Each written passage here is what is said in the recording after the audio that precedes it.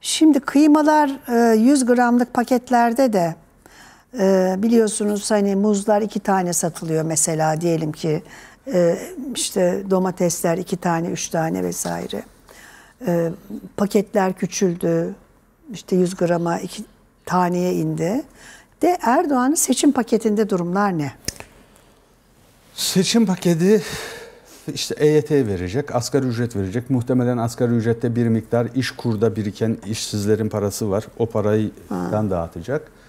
Ee, şu anda bir e, kontrol ve serbest dışı bir piyasa ekonomi uyguluyor. Ne, ne uyguluyor? Bugün TÜSİAD Başkanı'nın açıklamaları da var çok önemli. Bu kısa vadede şu e, Dilan arkadaşımızın et fiyatı ile ilgili e, yaptığı haber üzerine söyleyeceğim. Kısa vadede bazı başarılar gözük alıyormuş gibi gözüküyor ama orta uzun vadede çökecek. Et piyasasını ben şey, şey özetliyorum. İnek piyasası olarak özetliyorum Ayşen abla. İnek piyasası şöyle oldu. Hı.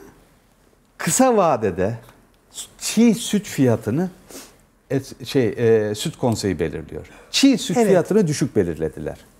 Çiğ süt fiyatını düşük belirleyince çiftçi üretici zarar ediyor. Ama süt ucuz görece önceki dönemi söylüyorum. Yoğurt ucuz, süte bağlı ürünler, peynir ucuz, yağ ucuz, görece ucuz kaldı. Hayvanlar et hayvanları kesime giderken süt üreticileri ya zarar ediyoruz diye süt ineklerini de kesime yollamaya başladılar. Kısa vadede et fiyatları da ucuz oldu bu sefer. Sonra ne oldu? Şimdi şu anda inek piyasasının bu aşamasını yaşıyor Türkiye ekonomisi. Kısa vadede her şey güllük gülistanlık. Sonra ne oldu inek piyasasında? Bir baktılar ki aa süt üretimi yüzde on düşmüş. Süt üretecek inek azalmış, çok azaldı. Piyasa çöktü. Bu sefer süt fiyatı hızla arttı ve artıyor daha bekleyin. Bu sefer yoğurt, peynir, yağ fiyatları da hızla artmaya başladı. Tereyağı artmaya başladı. Kesime giden inek de azaldığı için bu sefer et fiyatı da patladı. Şimdi et fiyatı biraz daha geri. Yani bu işi en iyi kim biliyor biliyor musunuz? Tansu Çiller biliyor. 93'te suni piyasa baskılayıp 94'te her şey patladı. Faizi baskılayacağım diye 3 ayda faizi %50 yıllık vermek lazım bereket getirir. Fakir Fukara Fonu yöneticisi. 6 ay sonra dedi ışıl ışıl olur dedi. Hiçbir şey ışıl ışıl olmadı. Ocak ayında dedi enflasyon dedi bu yılın yani 2022 yılı Ocak ayında dedi enflasyon zirveye varacak dedi. O da %50'nin altında. Sonra düşecek dedi %85'i gördük. Şimdi önümüzdeki yıl dedi 2023 dedi e, ortasında seçime dedi tek hane enflasyon gideceğiz. Şimdi %30'lara çekti onu %25'lere çekti onu. Hiçbir söylediği öngörü tutmadı. Bunlar tutmayacak ama şu tutuyor. Yeni model diye geçen yıl biz finansal göstergeler uğruna reel sektörü heba etmeyiz dediler. Şimdi, şimdi finansal göstergeler için reel sektörü bitiriyorlar. Bakın ben size biraz önce TÜSİAD Başkanı'nın konuşmasından şeyi söyleyeceğim size. Buradan okuyacağım kusura bakmayın. Rica ederim. TÜSİAD Başkanı ne söylemiş? Y Yüksek İstişare Kurulu Başkanı Tuncay Özilhan. Krediye ulaşımdaki zorluklar şu anda krediyi kestiler. Millet şirketler döviz almasın diye kredileri kestiler. Aa. Krediler yok. Döviz. Çok Niye döviz mi yok? Döviz alınmasın diye kredi vermiyorlar. Yani sıkıntı var belli ki yani tabii, döviz tabii. alınması. Şimdi Suudi Arabistan'dan Putin, Putin'in il başkanı gibi biliyorsunuz. AK Parti'nin il başkanı gibi harıl harıl döviz yolluyor Rusya. Cumhur İttifakı'nda siz ondan haberiniz yok galiba. Daha yeni açıkladılar. Ee, Putin ve Aliyev Cumhur İttifakı'nın e, paydaşları oldu. Paydaşları. Krediye ulaşımdaki zorluklar üretimi olumsuz etkiliyor. Böyle giderse ihracat yapılamayacak. Böyle giderse ihracat yapılamayacak. Cari açığın finansmanı şunlar bunlar. Yani bu anlattıkları modelle şeyler şu anda tamamen finansal göstergeleri düzeltmeye çalışıyorlar. Neyle? Ne karşılığı belli olmayan Rusya'dan gelen paralar, Suudi Arabistan'dan gelen paralar, Birleşik Arap Emirlikleri'nden gelen paralar, Katar'dan gelen paralar ve Çin'den. Çin'i biliyoruz ne karşılığı. Uygur Türklerini verdik. Ay. Verdik yani. Bütün dünya soykırım diyor. Biz Uygur Türklerini bir avuç dolar için ne diyor Sarıyer'deki polis müdürü? Seni Çin'e yollarım. Sınır dışı ederim. Sınır dışı ederim. Ya polis memuru yapacak. Bir ülke bir avuç dolar için ne derdi Sayın Cumhurbaşkanımız eskiden? Recep Tayyip Erdoğan ne derdi? Borç alan emir alır derdi. Eskiden ama derdi. Şimdi borç alan e- emir veriyor. Eskiden öyle diyordu. Borç alan emir alır. Şimdi borç alıyoruz ama emir de veriyoruz. Bunu başarmak büyük güç. Kaynağı ve pardon karşılığının ne olduğunu bilemediğimiz Türkiye'ye 50-60 milyar dolar bir para geliyor seçim döneminde. Kim destekliyor? Rusya. Kim destekliyor? Suudi Arabistan. Kim destekliyor? Birleşik Arap Emirlikleri. Kim destekliyor? Katar. Kim destekliyor? Sisi. Kim destekliyor? Pardon Esad desteklemiyor. Ay, ay çok acayip. Herzog. Biz konuşmak istiyor. Yani biz derken e, Erdoğan konuşmak istiyor, buluşmak istiyor. Bu sefer Esad hayır diyor. Şartlarım var diyor. Geldiğimiz Buraya geldi Borç alan emir alır. E biz Esad'la niye görüşmek durumundayız? E para verenlerin bir isteği var muhtemelen. Oyun kurucu Yani dediğimiz e, bu- lira zam geldi. Ama enflasyon %80'den %50'ye düşüyor. Çünkü- Niye lira zam geldi? Ama enflasyon %80'den %50'ye düşüyor. Çünkü- Niye 80 liranın 100 liraya oranı %50?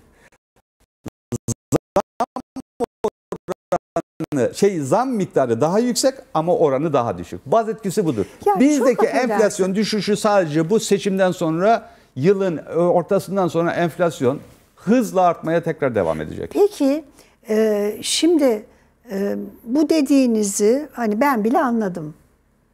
Hakikaten neticede Şu anda bankalar %21.92 ile para topluyor. 1 ile 3 ay vadeli mevduat. 21.92 ile para topluyor. Merkez Bankası verileri üzerinden söylüyorum.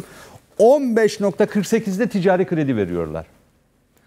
Biraz önce gıdada ne dedim? Firmalar 150 liraya mal ediyor, 110 lira- 102 liraya satıyor gözüküyor. Böyle bir şey olur mu? Olmaz. Şimdi bankalar 22 lirayla para topluyor, %22 faizle para topluyor, %15'le kredi veriyorlar. Böyle bir şey olur mu? Bu nedir? Yani bankacılık nedir? Ee, kredi mevduat toplarsın, biraz daha üzerinde kredi verirsin. Bu nedir? Birkaç yıla Türkiye'de bir kredi verecek para kalacak mı? İki kredi verecek kurum kalacak mı? Bu sistem sürmez, sürmez. Yani 10 liraya alıp 5 lira, 7 liraya, 8 liraya satan bir esnaf gördüğünüz zaman "Aa, senin iflas edeceğin bellidir dersin değil mi? tabii Yani 10 liraya alıyor, be- 7 liraya satıyor. Onun için söylüyorum. Türkiye'nin bu modelde iflas edeceği kesindir. Bu modeli sürdürürse iflas edeceği, bu şekilde giderse iflas edeceği kesindir. ay çok ağır bir şeyden söz ediyorsun. Ağır değil ya. şey rakam belli. Yani önce bankacılık sistemi, sonra diğer sistemler çatır çatır çökülür.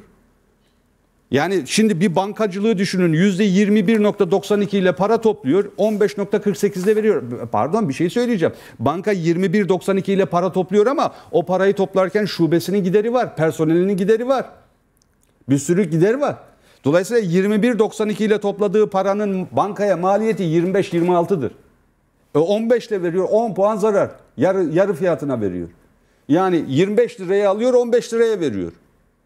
25 liraya senden mevduat topluyor maliyeti toplam maliyeti 15 liraya veriyor. Bunu ne kadar sürdürürsün? Ne kadar sürer bu? Şimdi bakın e, Erdoğan'ın e, ne dedik? Daha doğrusu e, İbrahim Kahveci ne dedi? İşte bir yerlerden paralar gelecek. Cumhur Geliyor. İttifakı'nın paydaşları işte aa bak bulmuşlar arkadaşlar. Putin, Aliyev ve ortada Erdoğan'la Bahçeli. Şimdi Cumhur İttifakı gerçekten bu. Şimdi bu e, ittifak elinden geleni yapıyor, yapacak. Yeter ki Erdoğan o koltukta habire koltuğu işaretip duruyor. Koltuk rahat mı bu arada? İyi, rahat tamam, rahat güzel. alıştım alıştım ben Alıştın mı? kalkmayı düşünmüyorum. İyi tamam hadi bakalım. Ben de şey rahat. yapıyormuş gerçekten alışkanlık yapıyormuş iyi koltuklar. Onun için iyi koltuğa oturmamak lazım. Şimdi para vesaire e, daha neler olacak ben size söyleyeyim. Ne o indirimli e, petrol, doğalgaz, efendime söyleyeyim e, belki fiyatları öteleme daha neler neler bu paydaşlardan gelecek. E, Cumhurbaşkanı da gaz zirvesinde konuşuyordu. var. Türkmenistan gazı zirvesi. Türkmenistan gazı ile Türkmenistan, ilgili- İran doğal gazı. Evet, e, Erdoğan Türkmenistan'da Türkmenistan'dan e, indirimli doğalgaz, ucuz doğalgaz almak için böyle bir e, şey var. e, hamle var. Konuşuyor e, Erdoğan orada. Birazdan notları düşer. Şimdi efendim içerideki e, pahalılığa bunlar deva olur mu? Hele EYT asgari ücret gibi hazineye nebatini yakındığı o yük gelirse tabii zor. Etiketleri geri götürmek kolay değil. Ne yapacaklar? Bir üç harfleri cin çarpmışa çevirecekler. Onları baskılayacaklar. İkincisi e, başörtüsü meselesini yani inancı kullanacaklar. Şimdi e, başörtüsü ve aile konusunda e, iki anayasa değişikliği, e, anayasanın 24 ve 41. maddelerinde değişiklik için bir tasarı hazır, teklif mi oluyor onun adı? Ne oluyor? E, Teklif oluyor galiba. teklif.